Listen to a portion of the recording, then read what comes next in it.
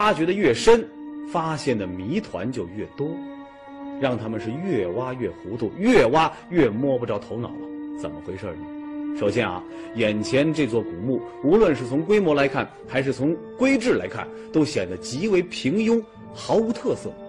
一时间，专家们竟也看不出来这一古墓究竟是从何而来。我们知道，古人对于葬俗极为重视，不同朝代、不同民族的葬俗呢，都各有特色。眼前这座古墓却与众不同，普通的都有些离谱了，就好像有人故意在遮掩着什么。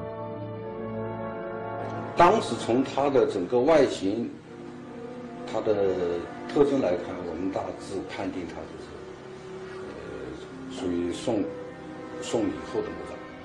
其次，这座古墓所在的位置也让人难以理解，不是寻常的泥土区，而是红砂岩区。就八字解读人生，风水改变命运。大家好，居士从业风水二十六年，很多人通过我的调节都获得了巨大成功。针对八字测算、风水布局、命理分析、事业财运、手相面相、感情婚姻，有独到专研见解。如果你的财运不佳、情感不顺、诸事烦心，原主可添加本居士微信二六六八二一三五，一一帮你调节化解。记住微信。二六六八二一三五。族墓实在有些牵强。那么，这座古墓到底是不是贵族墓呢？如果是，又为何会修建的如此简陋呢？如果不是，那些罕见的石棺，还有老张捡到的那只玉簪，都不是寻常人家用得起的东西，又该如何解释呢？哎，关于古墓修建的简陋这点呢，夏湘军推测八成和古墓所在的红砂岩区有关。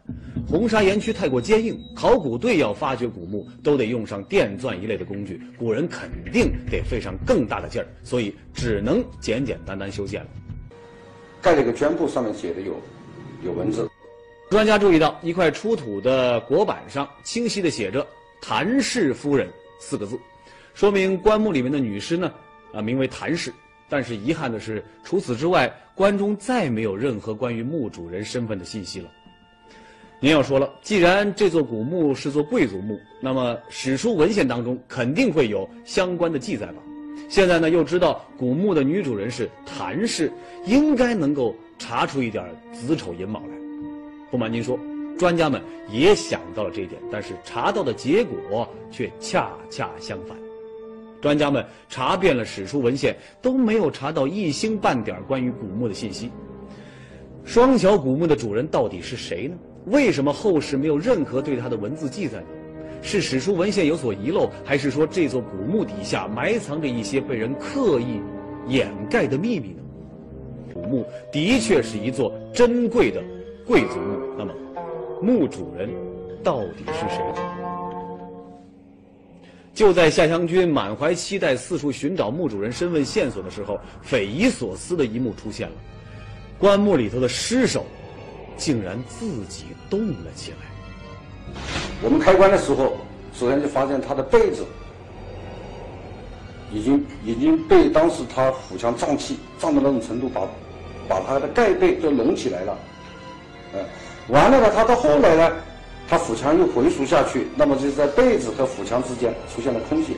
夏湘军被这突如其来的一幕吓懵了，原本好好的尸首，怎么突然间就像一个气球一样，开始不断的往外胀气了呢？专家们也都睁大了眼睛，目睹了这无比怪异的一幕。但是，怪事儿并没有就此停住。尸体胀完气之后，又开始以肉眼可见的速度快速腐败了起来，就好像一开始见到的桃树枝一样。不过几分钟的时间，整具尸首就已经面目全非了。